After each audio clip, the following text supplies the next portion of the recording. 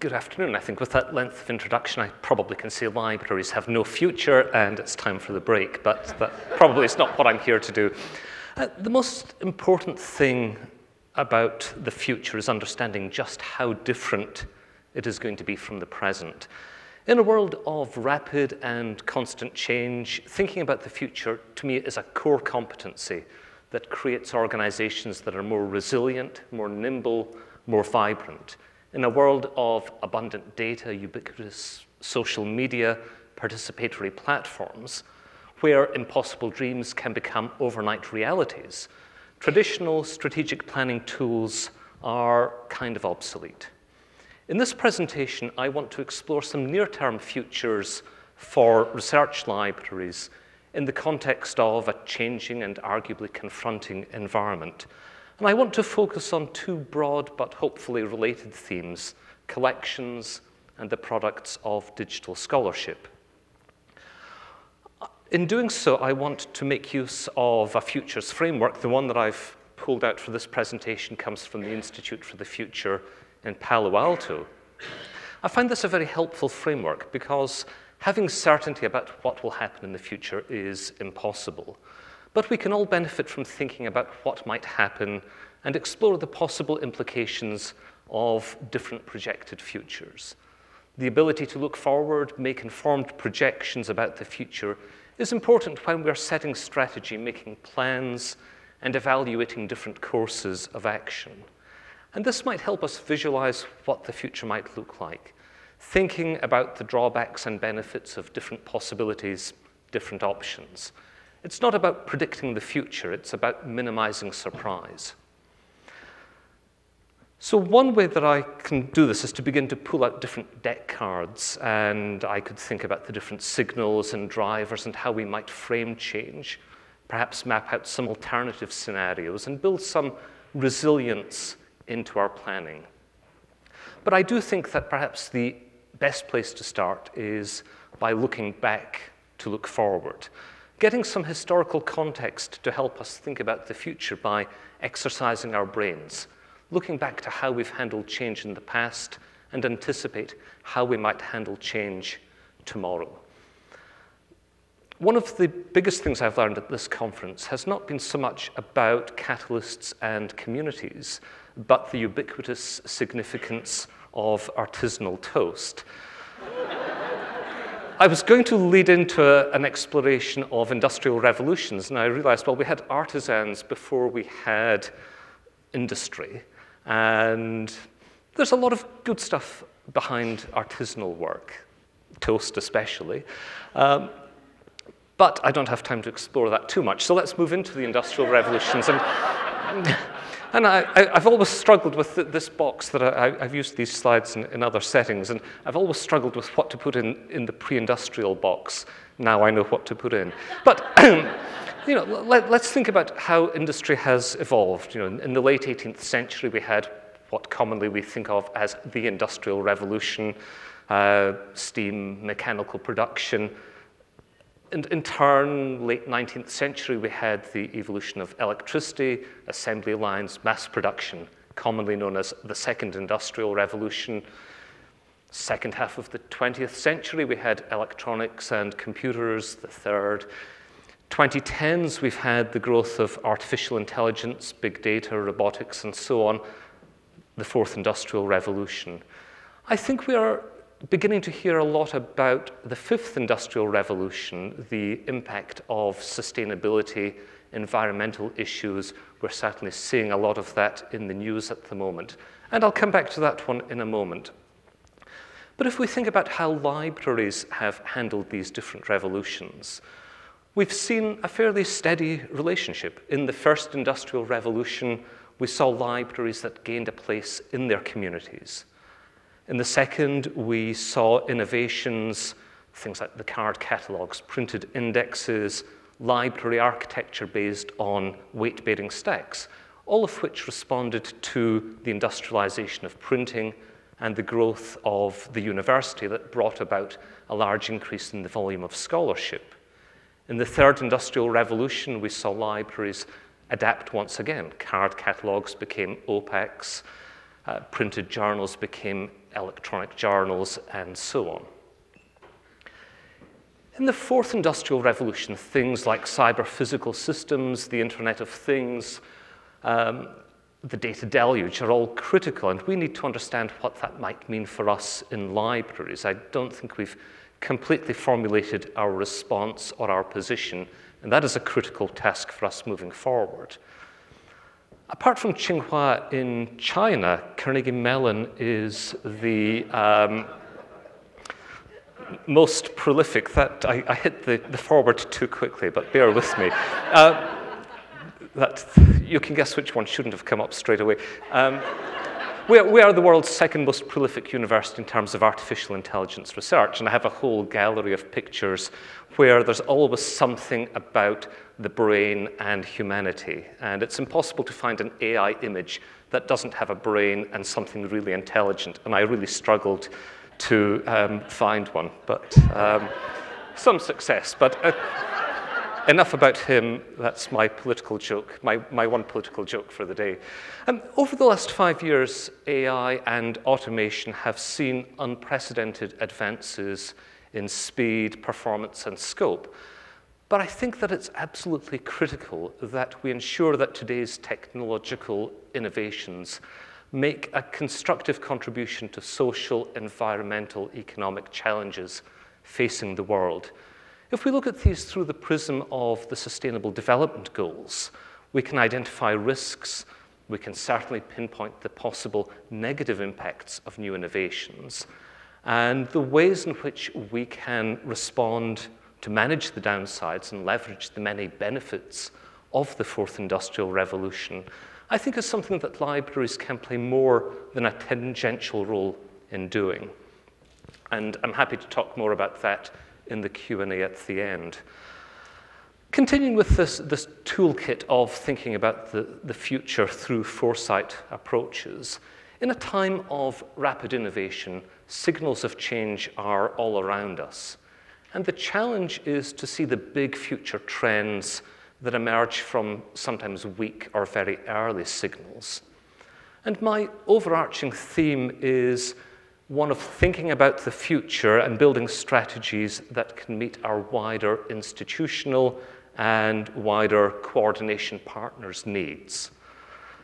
So, as we think about where we're going, um, we need to recognize that a library, certainly in a university environment, is part of a number of external worlds. We can't simply look at what's happening in library practice. We need to understand where higher education is going, where research funding is going, technological innovations, and so on.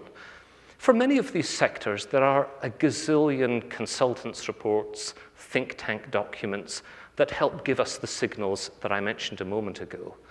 In the library environment, we don't have quite as many. I, I haven't seen um, Deloitte or PricewaterhouseCoopers put out a report on the future of libraries in the way they do about the future of everything else. But we do have one salvation. We have this almost this tribute band of an seemingly never-ending series of reports from OCLC research. And I, I, I, stop soon, don't worry. Um, but these, these really are important documents in the way that they can give us a bigger picture. Um, one of the great advantages of OCLC is its global presence. And having worked in a, a number of different countries, I've certainly come to appreciate that there are innovations happening all around the planet, and we need to be on top of those. But from any individual university campus, you're either going to absolutely wreck the environmental stuff by spending most of your life on an airplane, or you need somebody else to help you join those dots. And the OCLC report series does a great job of pulling out what's happening in different parts of the world. So let's delve in a little more deeply and start off with this very influential report on the future of universities and the role of libraries. And it, it doesn't pull any punches. and it certainly says what I've been saying for a long time, therefore it is a good report, and that is that collections don't matter anymore. This notion that a library can be defined in quality terms by how many books it has has had its day, thankfully. Services are what matters in the library of the future because it is the interactions we have with our faculty and students that allow us to add value to the university enterprise. The report goes on to talk about the, the different focal points of, of universities and this topology around research, liberal education, and careers, and recognizes that any university will have a blend of each of these three, but where it is positioned will differ based on academic programs, student profiles, and so on. Just as, as a way of conditioning the remainder of the presentation, I should mention that my university is in the top 10 most research-focused universities surveyed. And therefore, a lot of what I say will be from the perspective of a university that has a considerable degree of research intensity. There's a very nice library services framework which maps out uh, the different opportunities libraries have to contribute to their institutional missions. And these can serve as a very good checklist as we think about planning activities.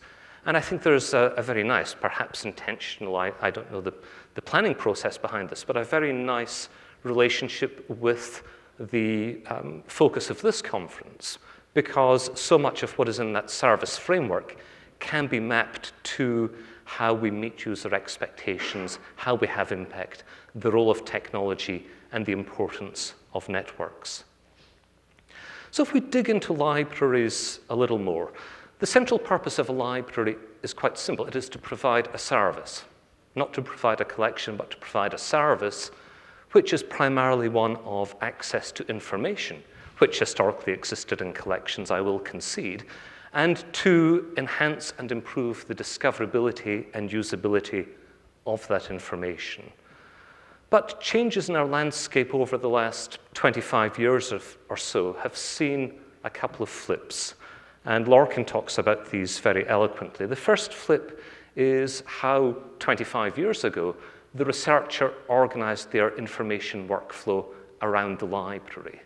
They would make weekly visits or daily visits to browse the latest journals, to copy conference papers, to check out books, to stay on top of their field. Today, in most disciplines, the researcher accesses and works with scholarly content entirely outside the library. Sure, we pay the bills in many cases, but their research workflow takes place outside the library.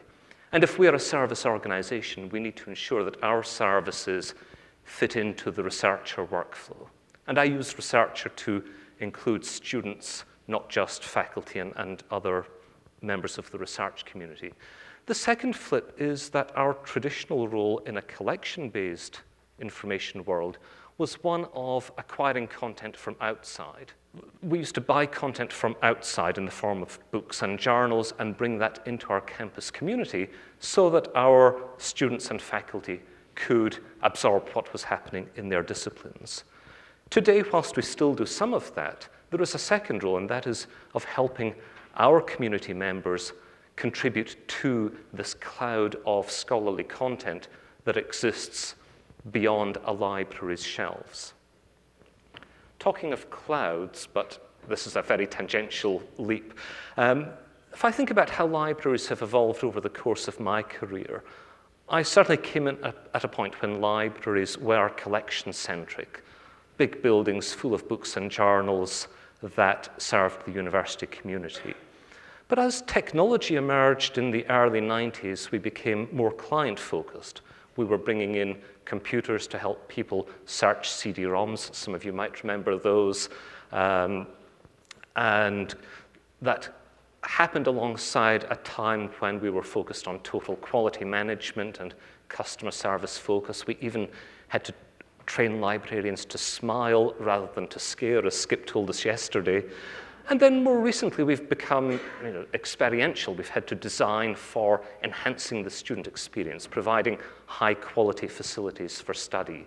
We've become connected parts of a global node of information hubs around campus and indeed internationally. And more recently, we've become this interdisciplinary convening place, um, creating digital and phys physical maker spaces, collaborative studios, other facilities that allow students to view the library as the primary non-classroom academic space on campus, the place where they come to do serious work, and they want serious space and serious quality space to make that happen. The clouds in that preceding slide were more than simply showing that I can use clip art, but rather a metaphor, perhaps, for changes in the media landscape and a world in which much of our media consumption has moved to the cloud. And I think it's a fairly brave library director who takes the view that all of that has happened in another sector and our role is to remain this physical information hub. Because clearly, people at large, most of us, have seen our media consumption shift to a cloud based environment. And whilst certain library collections will remain important physical resources, our community members have sent a signal that digital content is where they are heading. There's nothing surprising in this if we look at numbers. Now, Carnegie Mellon, as you hopefully have worked out, is based in the city of Pittsburgh. And therefore, I created a P index.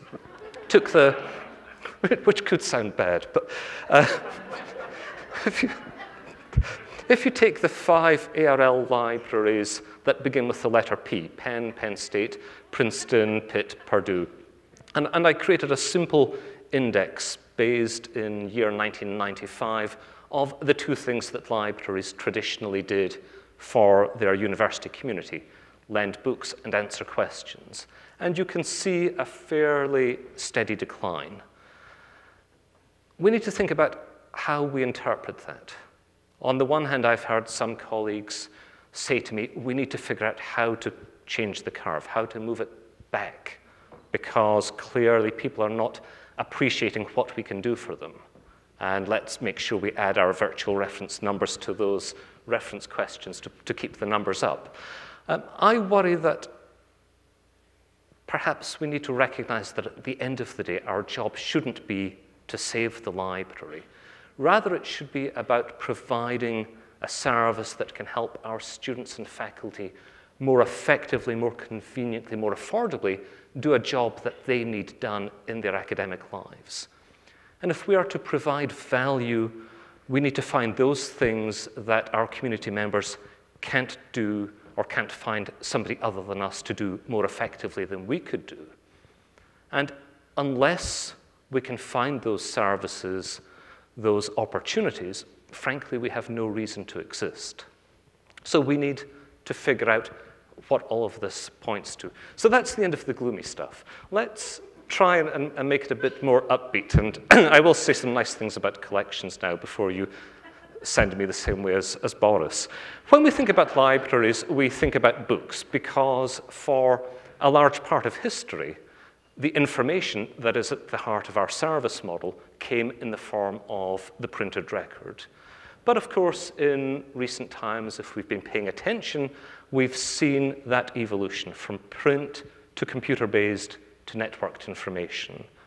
And my fellow Celtic Fringe member has helped us understand this by building out a collection spectrum. When people think about the content in libraries, they primarily think, or traditionally thought about, that which we owned, the physical stuff that sat on our shelves that we could touch. That was our collection. And perhaps in a, an emerging current and certainly future state, we need to think more about a facilitated collection, this cloud based resource. It's a collection that we can borrow from a shared resource.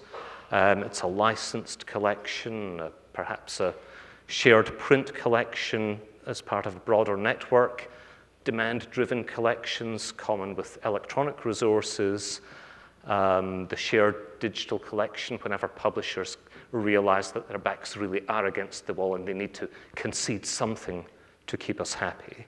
Um, the evolving scholarly record, which I'll turn to in a moment, and more broadly, the external collection.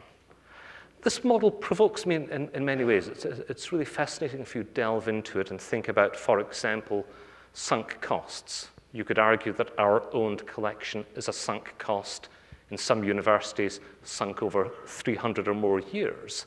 Um, thinking about future costs, discount rates, and so on. I also wonder where Sci-Hub fits into this, or does that just sit on the fringe not to be talked about? Also, it's really interesting if you get a group of researchers and ask them if they've heard of Sci-Hub, most hands go up. Have they used Sci-Hub? Most hands go up because they have figured out that convenience trumps quality, and for our time-starved researchers, that's where they want to go. A recent OCLC report with the Big Ten has helped tease out some of these issues more fully. Um, another useful OCLC model is the collections grid that helps us understand different trajectories. And to me, it's really interesting to think about how, in the print environment, libraries really could differentiate their offering to their campus community based on their print collections. And there was a clear relationship between investment and access to information. In a digital world, that has become less differentiated, and we see a very different model. Um, I do think that special collections are important. They're becoming a mark of distinction on our campuses. The evolving scholarly record is something that, the, the model that I'll show in a, a moment's time, is something that I use in most presentations that I give, most conversations I have with people in our budget office, with faculty on campus. The scholarly record is what matters to a discipline. And the definition of that record, or rather more specifically, the designation of those publications that constitute the record, has traditionally been what we librarians have decided. But today, lots of research materials are being generated in digital form, and they are easy and relatively cheap to store, share, and preserve. And developing the skills required to manage that digital scholarly record, and at the same time developing the organizational capacity and institutional incentives required for coordinating that in the way that we might coordinate traditional library collections is something that is profoundly challenging. But let's think for just a moment about the evolving scholarly record and this notion that our traditional focus on the outcomes of research can be expanded to embrace the artifacts of the research process, the data, the community conversations, the algorithms, and so on, and the aftermath of the research process, the community review, the open peer review, the reuse of data, and so on. And because the scholarly record is now almost exclusively made up of digital documents, we see it expand in a couple of dimensions. Firstly, because digital documents are easy and cheap to replicate and deliver, um, we see that these broader aspects, such as data, are becoming an accepted part of the record. I've, I've, made that point already. But secondly, that machines can be used to analyze and extend the scholarly record. I've been waiting for years for an event that happened earlier this year when Springer Nature published the first machine generated book. I wasn't necessarily waiting for Springer to do it, although they were the obvious publisher. But this really important approach of generating a machine produced overview of literature in a field.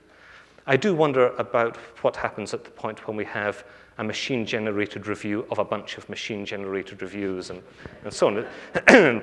It feels a bit like uh, mortgage-backed securities in 2008, but we'll, we'll see what happens there. But the objects that document the research process and its results are increasingly openly visible, but they are scattered around. And that's where stewardship becomes important. And the OCLC report that talks about that conscious coordination as being more important than the invisible hand that we've been able to rely upon until now is important. And we can see some key markers there around generating system wide awareness, entering into explicit and formal commitments, ensuring that we're not duplicating effort unnecessarily, and ensuring reciprocal access for different members of our communities. In the print-centric environment, um, collections were an attractive part of faculty recruitment. Come to our university because you will have these tremendous resources at your fingertips. But in the digital environment, things are perhaps a little bit different. And we need to understand what that might mean. If we see a series of information resources scattered around servers all over the planet, how do we express that as part of establishing the brand and impact of our libraries? Undoubtedly, at the moment, the most important part of the evolving scholarly record is research data. And funders now recognize that to get the best return on what they invest in the research enterprise, the ability for that data to be produced once, reused, reanalyzed, remixed by other researchers is profoundly important because they don't want to pay for the same original research and the same laboratory equipment over and over again. And from the OCLC work in this space, we've been given pointers to the sorts of services that are important on campus and some of the issues that we need to think through as we wrestle with data management as an increasingly important part of our library mission. But already, I think it's about 10 years since the Australian government said we are going to impose data mandates. And I think they were one of the first. In the intervening decade, we've seen so much data sharing take place that we are at the point where this notion that I'll sit in my office and find somebody else's data set and reanalyze it and write a new paper feels you know, just very quaint. And we can't lose sight of the power of artificial intelligence, and particularly machine learning aspects of AI, to help us navigate that a bit more fully.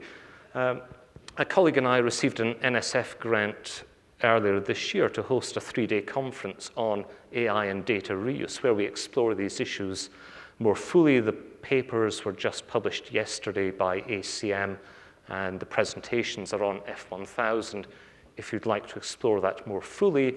And if you want to do more, come and join us in Pittsburgh next May for the second conference. Another um, piece of OCLC's work has been in the sphere of research information management. In the past, in those days when researchers came into our libraries on a regular basis, we could catch them and talk about their latest research, their classes they're teaching, and so on, as a way of keeping abreast of their information needs and ensuring that our services and collections kept pace with the research and educational enterprise. That opportunity has long since gone. But those libraries that are building research information management systems for their universities have got a new opportunity because we can see the records of our researchers, the publications they're producing, the grants they're receiving, the courses they're teaching, and so on, and use that as a new type of information source to ensure that our libraries keep pace with their needs. And we can do that firstly by understanding the different data sources that come in to our research information system, and secondly, thinking about how we can take that information and allow the university, the researcher, anyone else to use that content for different purposes, such as faculty annual reports, um, external grant applications, and so on.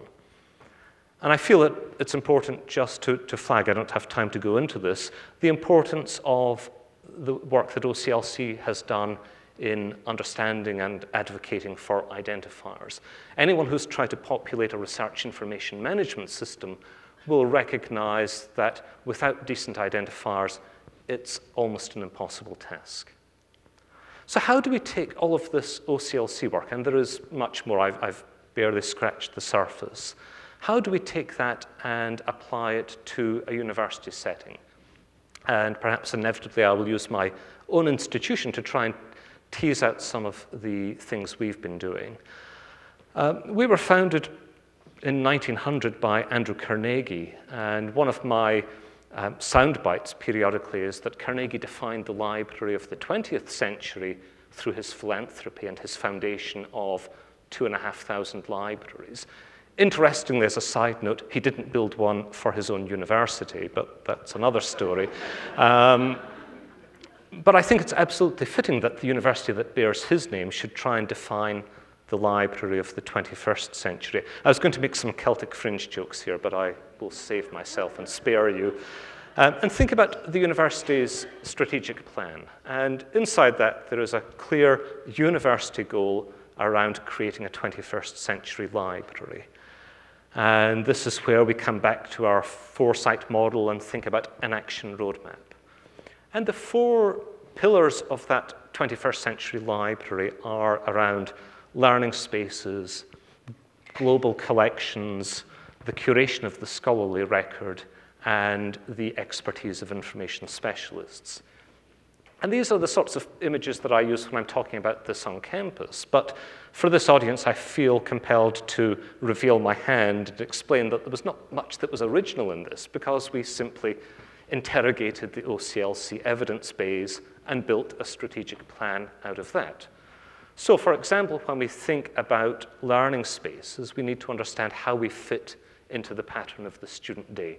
What is the inner essence of librariness to today's students?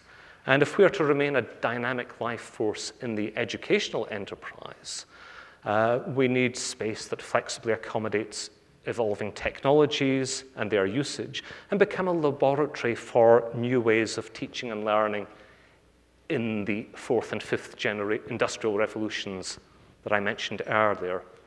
I've said much about collections already. You know, Carnegie Mellon is primarily a computer science and engineering university, so big collections of books are not our core business. But we are growing our focus on distinctive collections that tell our story in different ways. And we've got some absolute gems that I hope you can come and see at some point Enigma machines, which appeal to our cybersecurity people, Shakespeare First Folios, which appeal to our drama students, and so on. But tied into that also is our contribution to that external cloud of content and the tools and services we are building in collaboration with other universities, um, with Birkbeck College on the one hand, with our neighbours at the University of Pittsburgh on the other hand, as a way of ensuring that our university community can effectively contribute. Um, as we turn to curating the scholarly record, our starting point is the world of open science. And we have very firmly built our service portfolio around open science. Um, last year, we had an open science symposium in the libraries, which brought about 200 researchers from around the country. Um, second one is taking place next month. If you're free on the 7th of November, please come and join us. Um, the starting point for our service framework is inevitably our repository. I told you there were the Scottish traditions that we can't get away from. Think GitHub and kilts, and you, you get it. Um, so, this is a comprehensive repository that stores not only publications and dissertations, but code, data, algorithms, all sorts of other resources. And it's becoming a very important part of our research community's work as they collaborate with others around the country. Our campus research information management system um, very much has been built upon the advice from OCLC. We're using symplectic elements. We've recently activated our Scholars Portal as the external face of that. And we're hiring a new generation of information specialists to work with us. Just as two examples, Anna is um, a neuroscientist who is the, the liaison to our School of Psychology and our Neuroscience Institute, and she directs our open science program, June is a cell biologist who is liaison to computational biology, and she leads our reproducible research efforts. So, as we think about um, what all of this means. Think back to that OCLC report on university futures and the service model. This is our take on the library services that we are offering to our community, very much informed by that evidence base. We recognize the proliferation of open science tools that our researchers want to use, and we need to meet them in their workflow, as I said earlier. So if we think about that in the context of the evolving scholarly record at the heart of what we do, and build our service framework, our recognition of the researcher's workflows, we begin to have a framework around which we can build our service model. And there are a gazillion tools that we are promoting in different ways to meet students and faculty needs. So that is how we have leveraged a foresight planning framework and the resources from OCLC. We need to recognize that it's not, you know, I've, I've given you the upbeat version, but the politics of university campuses can still be difficult. And we know that there are some faculty who value the traditional library model. And one of the most demanding jobs for library leaders in the next decade will be to explain to them why a strategy of perpetuating the past is short sighted. And we need to build the library of the future. Thank you.